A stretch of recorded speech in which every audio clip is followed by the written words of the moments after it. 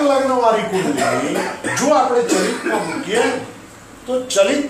લગ્ન વાળી કુંડલીમાં પૃથ્વી પર આ જગાએ માણસનો જન્મ થયો હોય, તો પૂર્વ ક્ષિતિજ પર કર્ક રાશિ હવે આનો સૂર્ય આટલો ઉપર આવ્યો છે, આટલો. એટલે એનો અર્થ એવો થયો કે સૂર્ય આટલો ઉપર ક્યારે આવે?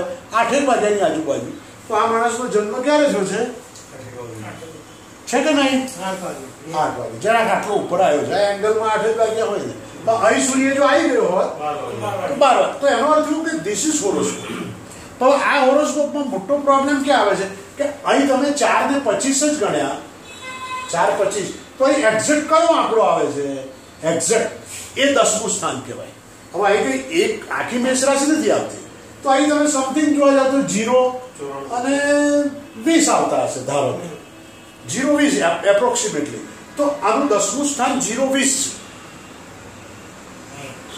સમજ પડી અહીં આગળ ત્રણ પચીસ છે તો અહીં આગળ નવ ને પચીસ છે ધારો તો આની આગળ જીરો વીસ છે તો એ આગળ છ વીસ છે ફોર એક્ઝામ્પલ તે દિવસ મોટો ટૂંકો હોય એમાં ફરફાર થયા કરતા હોય છે હવે સવાલ સવાલ એ આવે છે તો પછી આના ખાના કયા ગણવા કુંડલીના તો આ બેની વચ્ચેનું ખાનું આ આપણે જે જોઈએ છે ને એમાં નંબર ચાર લખીએ છીએ હવે તમે સમજી લો. આમાં ચાર લખીએ છીએ તો આપણી ભૂલ ક્યાં થઈ? કે આપણે આ ટોટલ ખાનાને ટોટલ ખાનાને કર્ક રાશિ સમજીએ છીએ. અગેન સમજી લો. આ જ કુંડલી આ રીતે મૂકવામાં આવે છે આ રીતે મૂકવામાં આવે તો આનું આખી સ્ટોરી કેવી થઈ ગઈ? કર્ક છે ઉપર મેષ રાશિ આવી ગઈ છે. હા આમ ચાલે છે. ચોખ્ખું મૂક્યું અહીં સૂર્યાસ્ત થાય છે. આ બાજુ રાત છે. સમજ પડી? તો બધી રાશિઓ આમ નીકળે છે બહાર આવે છે. પૃથ્વી પર ઊભા રહીએ છે કર્ક આવ્યું સિંહ આવ્યું આમ આગળ આગળ ચાલે છે. તો આ ચક્રમાં you are always in the centre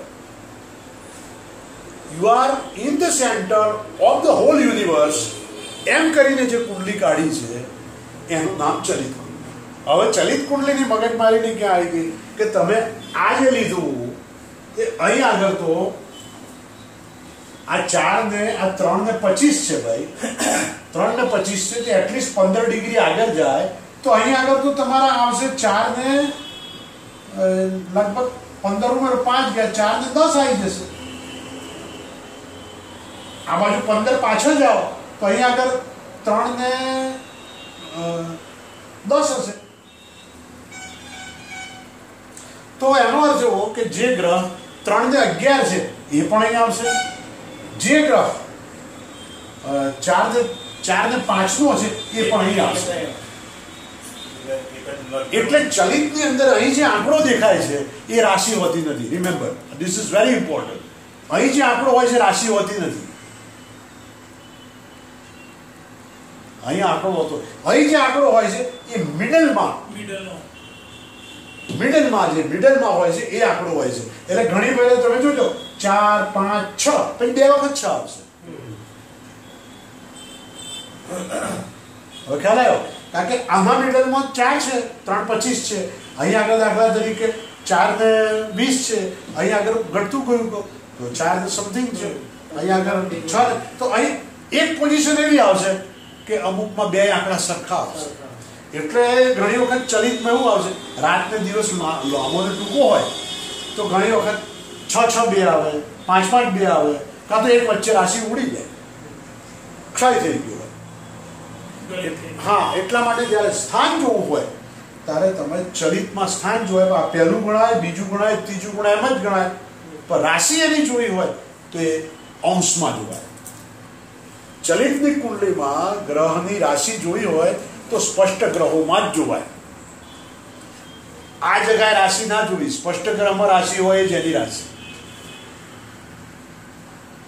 એટલે મેં ના કહ્યું, સિંહ રાશિનો ગ્રહ, અહીં તમને સીધું બતાવું કે આ બુધ છે. બુધ છે, ધારો કે ચાર ને પાંચ નો બુધ ધારો કે ચાર પાંચ નો છે.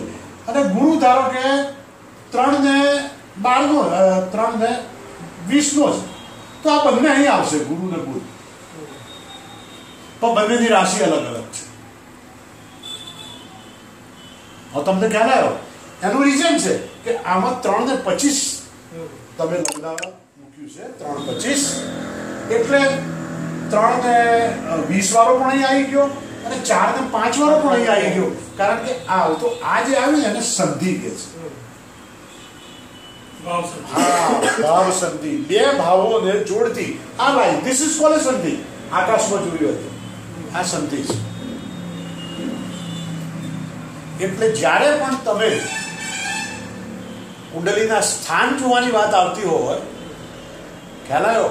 તો ચલિતમાં જોવું એટલા માટે ઘણી વખત નથી સ્થાન ચોથે મંગળ હોય તો આમ થાય પાંચ ફેરા તો ના, ચોથી રાશિમાં મંગળ હોય તોની વાત છે, પણ ચોથા સ્થાનની વાત કરતા હો તો તમારે અંશ પ્રમાણે જ જોવું સમજ પડી? એટલે ચલિત ચક્ર સિવાય સ્થાનની વાત થઈ શકે નહીં. બહુ વેરી ઇમ્પોર્ટન્ટ છે. અને આ આ જ વસ્તુ તમારે એપ્લાય કરવી પડે. આ શેમાં એપ્લાય કરવી પડે? આ પંચદા મૈત્રીની અંદર પણ. એટલા બધા લોકો, પંચદા મૈત્રીમાં પંચદા મૈત્રીમાં જ્યારે તમે સ્થાનની વાત કરતા હો, ત્યારે ચલિતને નજરમાં રાખવું. કારણ કે તમે એના આધારે તાત્કાલિક દ્રષ્ટિ નક્કી કરતા હો છો, તાત્કાલિક સ્થાન નક્કી કરતા હો છો, તો એ બહુ નજરમાં લેવું. એટલે એક વાત નક્કી થઈ ગઈ કે ચલિતમાં તાત્કાલિક મૈત્રી જોઈ જન્મની કુંડલીની અંદર પણ કઈ આવી આ જ આવ્યું ને? તમારે સ્થાન જોવું પડે તો જો. પણ રાશિ જે જોવાની હોય એ સ્પષ્ટ ગ્રહો આધારિત જોવું સ્પષ્ટ જોઈએ. સ્પષ્ટ જોઈ પડે ને? તમે મૈત્રીમાં તમે એનું કારણ છે કે આ ચલિતમાં જોવા જાવ તો ચલિતની રાશિ તો ડિપેન્ડન્ટ ના હોય. હવે આપણું કિસ્મત ઊંધું હોય. અને હારે હું ઊંધી આવતી હોય તમે ફરાદેશ રોંગ કહો. એટલા માટે તમે જે જન્મ કુંડલી જન્માક્ષર હોય છે ને એમાં રાશિ કુંડલી અને ચલિત કુંડલી બે દોરી હોય છે. તો રાશિ કુંડલી અને ચલિત કુંડલી બે જોઈ મૈત્રી નક્કી કરવાની. રાશિ કુંડલી ચલિત કુંડલી જોઈને મૈત્રી નક્કી કરવાની. રાશિ કુંડલીમાં લગ્ન જોવાનું. તો તકલીફ નહીં પડે. હવે તમને એમ લાગશે કે રાશિ કુંડલીનો ઉપયોગ શું? એ જેને પંચદા મૈત્રી અને દ્રષ્ટિઓ ગણવી છે એના માટે બહુ કામની છે રાશિ કુંડલી. આ તમને પહેલી વાર ભંગાર લાગતી રાશિ કુંડલીનો ઉપયોગ સમજાશે. ઝડપથી જોવા માટે. કારણ કે જસ્ટ સ્પષ્ટ ગ્રહો જોવાની પછી જરૂર નથી. રાશિ કુંડલીમાંથી ખબર પડી જ જાય. અને રાશિ કુંડલીમાં પણ જ્યારે જુઓ તો લગ્ન યાદ રાખવું પડે. એમાં લગ્ન ક્યાં છે? લ લખી દેવાનું. રાશિ કુંડલીમાં ચંદ્ર લગ્નમાં હોય તો લગ્ન તો ગમે તે આવતું હોય. જન્મ લગ્ન તો. ના. એ તમારે જોવાનું લગ્ન કુંડલીથી જ. પણ ચંદ્ર કુંડલીની અંદર ગ્રહો તો બધા રાશિના જ હોય ને. ચંદ્ર કુંડલીમાં ડાયલ જ જોવાનું હોય. લગ્ન આપણે હું લખી દેવાનું. પછી લગ્નથી જ ગણવાનું. હમ. લગ્ન નથી જ. પણ તમારે શું છે? સ્પષ્ટ ગ્રહો જોવા ના હોય તો યુ કેન યુઝ ઇટ સ્પષ્ટ ગ્રહો તો લગ્ન કુંડલીમાં નહીં કયા? એ બરોબર છે પણ તમે મારો પોઈન્ટ સમજાવી ચલિત થયા હોય એના કે સ્પષ્ટ ગ્રહો લખ્યા ના હોય તો શું કરો? ચલિત દોર્યું હોય પણ સ્પષ્ટ ગ્રહો લખ્યા ના હોય. સ્પષ્ટ ગ્રહો તો હવે લખવા માંડ્યા છે લોકો. પહેલાં તો ફટફટ ત્રણ ચોકડો દોરી દે. જૂના લોકો ગ્રહો ઘણા નતા લગતા રાઈટ એટલા માટે રાશિ કુંડલીમાંથી રાશિ જુઓ ગ્રહોની. અને પેલું ચલિત જુઓ બેના સંબંધો જુઓ. અને લગ્ન રાશિ એટલે વિચારવાનો સમય ના આવે. વિચારવાનો સમય ના આવે. તો એક વાત નક્કી થઈ ગઈ કે ચલિત કુંડલી એ વેરી ઇમ્પોર્ટન્ટ છે. ચલિત કુંડલીના જ્ઞાન સિવાય તમે સ્થાનનું ફરાદેશ કહી શકો નહીં. એટલે જે ખાલી ચોકઠા પરથી જે ફરાદેશ કહે છે એ ખાલી ગ્રહોની રાશિની જ વાત કરે છે. સ્થાન રિલેટેડ એની વાત રિલાયેબલ નથી. ભગવાનની દયાથી કોઈ ગ્રહ ચલિત ના થતા હોય તેની ગાડી ગબડી જાય છે. જાય. પણ જો એના ચલિતમાં ગ્રહો બદલાતા હોય તો એનું ફરાદેશ સો ટકા ખોટું પડે. સો ટકા ખોટું પડે. એટલે ચલિત જોવાની તમારે આદત પાડવી પડે. આમાં સર ગુરુ આગળ જતો રહે છે. યસ આવ્યું જ ને. તમે આની આ આ- તમે આ કુંડલીની અંદર જોઈ શકો છો. એટલે એકચ્યુઅલી તો જે તમે જોઈ રહ્યા છો એ ચલિત કુંડલી છે. પ્રત્યક્ષમ ચલિતમ. પ્રત્યક્ષ દેખાય છે ચલિત છે. જન્મકુંડલી તો આને બહુ બુદ્ધિપૂર્વક રાશિનું જન્મકુંડલી કેવી જાય તમને ખબર છે? હવે હા, હવે આ તમે અહીં બહુ કરામત છો આ જ કુંડલીમાં આ જ કુંડલીમાં તમે કર્ક છે, તો કર્ક ક્યાંથી શરૂ થાય છે? ચાર પચીસ, અહીંથી શરૂ થાય છે. એટલે તમે આ ખાનું જોયું, તમે એનું આ ખાનું જોયું. જો આ ખાનું પલટાઈ ગયું. એટલે તમે તો આ ચોખ્ખું આમથી આમ ગમે ત્યાં ફરે, તો પણ લગ્ન પૂર્વ ક્ષિતિજ પૂર્વ ક્ષિતિજ પર રહેલી ટોટલ રાશિ એ ચલાવી રાખ્યું હોય. હા.